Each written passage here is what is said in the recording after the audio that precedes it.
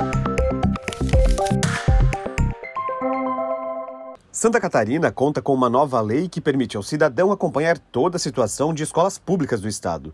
A proposta, sancionada pelo governo de Santa Catarina, obriga a Secretaria de Estado da Educação a atualizar com frequência num portal da transparência informações como o conteúdo sobre o corpo docente, estruturas, técnica e administrativa, e ainda condições com detalhes das edificações. A proposta original foi da deputada Ada de Luca.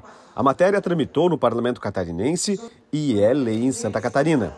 O próximo passo é a regulamentação em plataforma digital.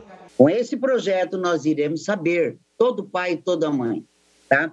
Vamos saber sobre a, a, o dinheiro, certo? Aqui a escola recebe, aonde a escola investe, sobre as obras que precisam ser realizadas e se são realizadas, sobre a segurança da escola, se está em dia com as vistorias e os alvarás, né? sobre a alimentação que é oferecida na merenda escolar, sobre o projeto que estão sendo desenvolvidos, os prêmios que estão sendo conquistados. A gente não sabe.